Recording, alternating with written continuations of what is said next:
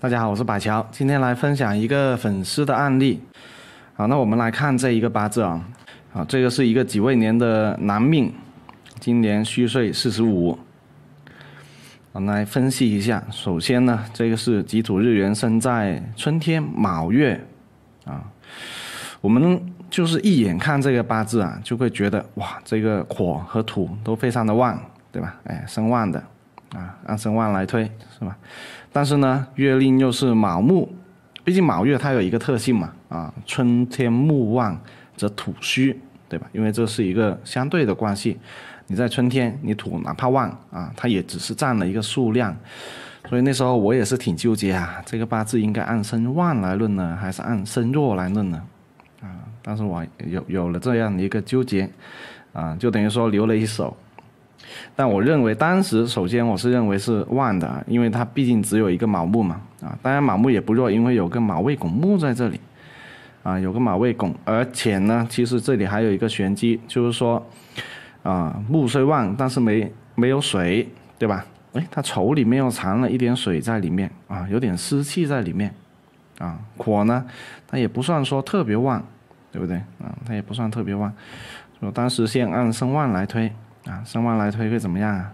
嗯，生旺的话用官煞，对不对啊？生旺用官煞，有个卯未拱木，大运一路都是水木大运，可以说非常非常厉害啊！怎么说都得是一个不小的官啊，啊，甚至是大官啊，对不对？当然，因为年龄摆在这里呢，也不一定到大官的这个层次啊，不小，反正官是不小的，啊。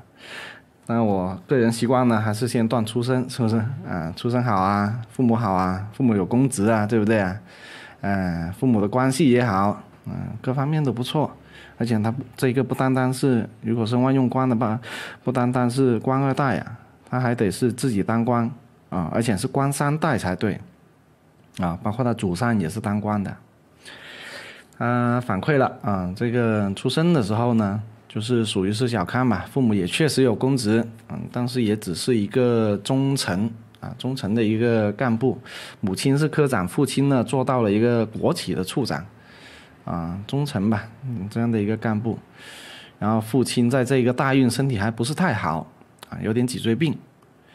哎，这时候我就考虑了，不是吧？走一个木运，稍微比预期稍微低一点点啊，啊。嗯，那肯定就是有一些问题。那时候我就想着，啊，就直接问他了。那你也是当官的，对不对？啊，他说，嗯，不算。他说不算的时候，我就，哎，嗯，难道不是身旺用官？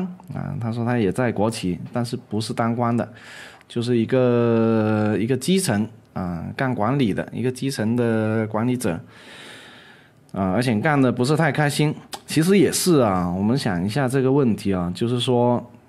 这个大如果是生旺用光，对吧？走的是什么大运啊？癸亥大运。癸亥大运是什么样的一个大运？亥卯未三会木局，木非常非常的旺，对吧？非常的平顺，非常的平坦，他没有感到迷茫的，没有什么好算，对吧？太顺了，不太信命了，甚至对不对啊？啊，人在不顺的时候才信命嘛。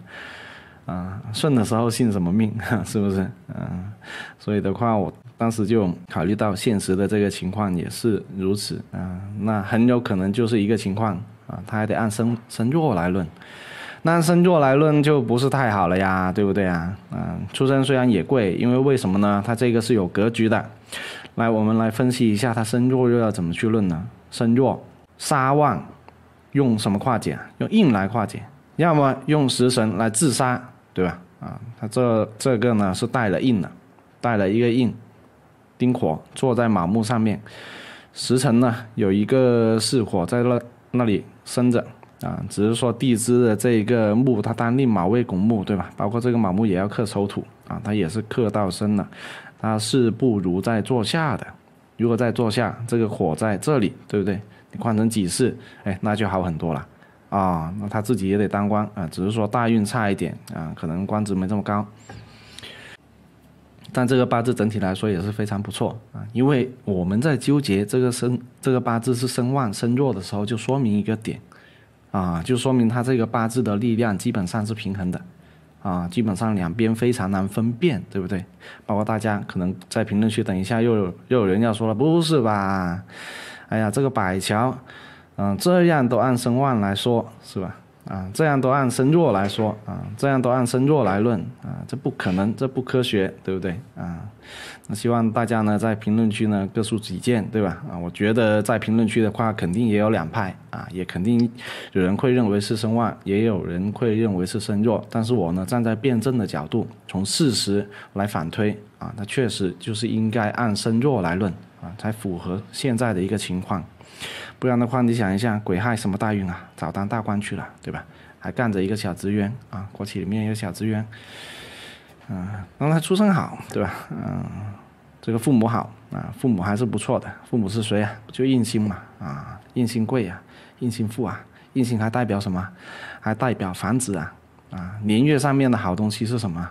他父母可以留给他很多好东西，无论是感情上的、感受上的，还是物质上的。都给了他不少的好东西。他前运其实呢也不赖，因为前运呢有个丙寅透了一个丙火啊，也不赖。那乙丑呢，嗯，问题也不大，对吧？只要不要把我的火快掉呢，就没事儿啊，因为我只要火在啊，就不会出问题。嗯，好，甲子怎么样啊？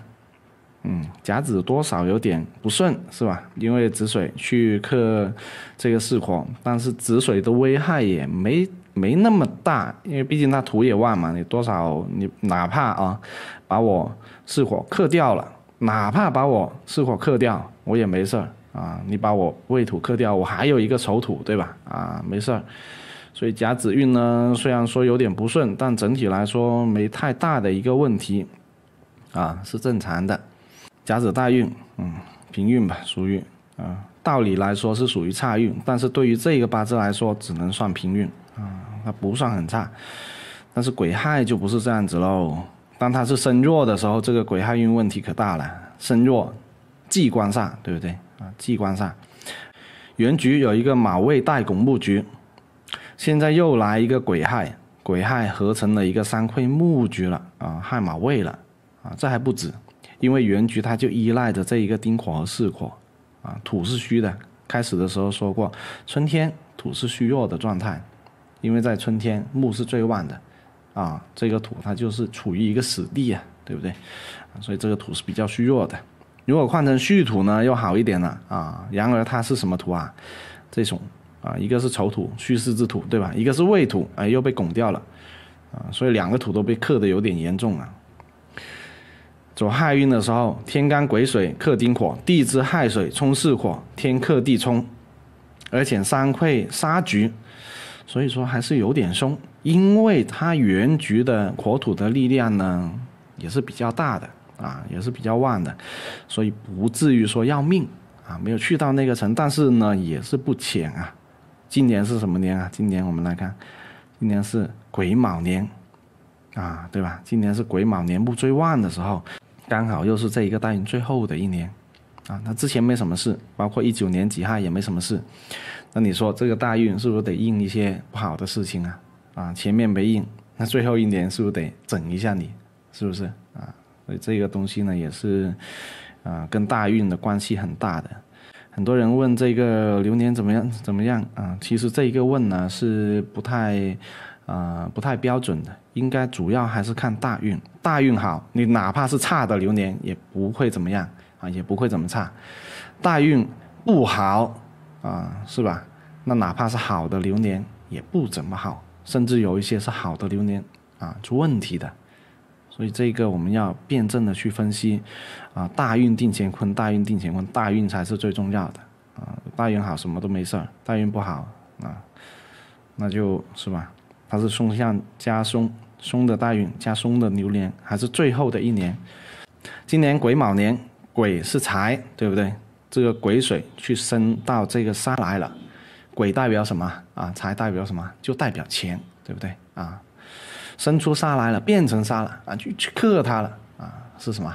一般就是破财啊，一般就是破财。因为原局来说呢，他为什么不是夫妻的问题呢？他一一年的时候结了婚了啊，为什么不是夫妻的问题呢？因为他原局没有这个问题，原局这个财星是不现的，它反而是好事。啊，反而是亲贵的一个表现，啊，反而是一个财星有情的一个表现，因为如果他原局有这个财星的话，你看这个四火是不是得挨揍，啊，要受伤？所以他原局没有财星的问题，说明他的感情是没问题的，婚姻是正常的，婚姻是好婚姻。但是这个杀他他他他他有问题，啊，杀是有问题，杀有问题也没事，有火去化，有印星去化啊也行。但走的大运是财的大运啊，所以还是钱上面的问题啊，出来克他的杀了，而且怎么样把他的印星给他克了？那他今年究竟发生了什么事呢？啊，今年一个亲戚问他借了一千多个 W，啊，然后他们父母呢就因为相信这个亲戚嘛，啊，就把房子都抵押了啊，抵押了，然后借了钱给这个亲戚，最后这个亲戚还不上，啊。没办法，因为他欠的不止那那不止命主一家，他欠了好多好多钱啊，欠了非常多的钱，还不上了啊，躺平了啊，放弃了，所以没得办法啊。那命主父母呢也只只能够卖房子，好是好在什么？好在他家底厚啊，家里面有钱啊，因为毕竟他这个你看这个火对吧？啊，原局也是不弱的，坐在卯木上面，这个丁火还有个四十，这个火好像，这个火好像还比较旺啊，不至于说卖了房没得住的那种，啊，不至于说卖了就吃不上饭，啊，还过得去。我们要去辩证呢，就是说啊，当我们发现这个大运不好的时候，要怎么样啊？啊，要保守一点，要折福，对吧？啊，要折福。嗯，甚至严重的话，可以考虑躺平啊。其实我也是觉得有时候方向错了，越努力，对吧？啊，失败越多，失误越多，这个就叫做顺天而为啊。好，那这个八字呢，就先分享到这里啊。我们下一期再见。